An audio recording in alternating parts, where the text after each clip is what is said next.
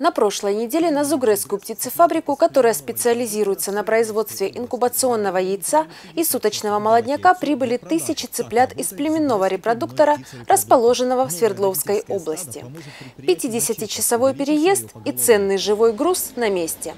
Первым делом врач-ветеринар проводит осмотр цыплят и берет пробы, чтобы убедиться, все ли в порядке с птенцами. Нам удалось в этом году закупить э, поголовье родительского стада для нашей птицефабрики. Вот. Э, что впоследствии э, даст нам э, увеличение нашего поголовья товарной птицы, развитие нашей птицефабрики и в целом развитие птицеводства в Донецкой Народной Республике.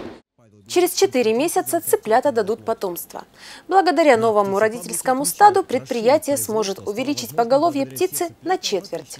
Спустя еще 4 месяца птенцы начнут давать товарное яйцо, которое поступит на прилавки магазинов в города и поселки республики. Прежде всего, конечно, в близлежащие Зугрес и Харциск.